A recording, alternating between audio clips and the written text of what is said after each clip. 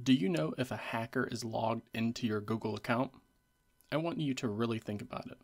If you don't 100% know the answer to this, then I can show you a quick way to find out.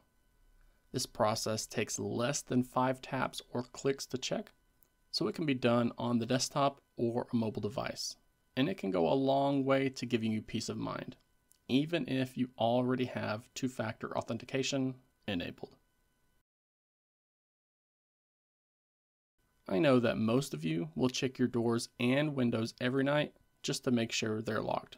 So it's curious to learn that this isn't as common of a task for people and their Google account.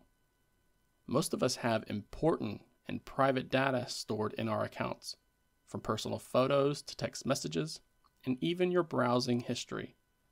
There's a lot of our digital lives that are tied to our Google account these days.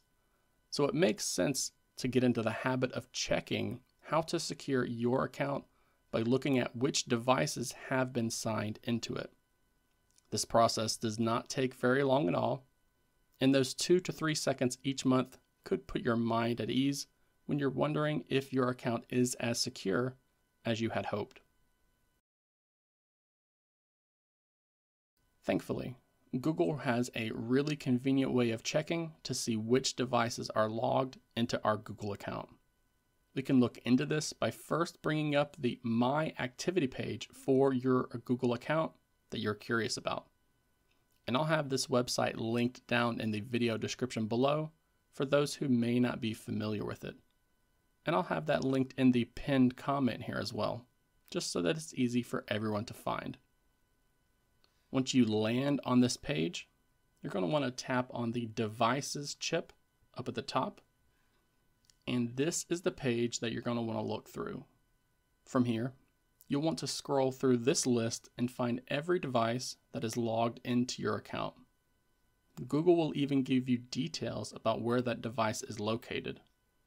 If you find a device that you're not familiar with, or maybe you found the device with a location that you know for sure that you haven't been to before, then it's a good idea to tap on that device and then select the sign out button from here.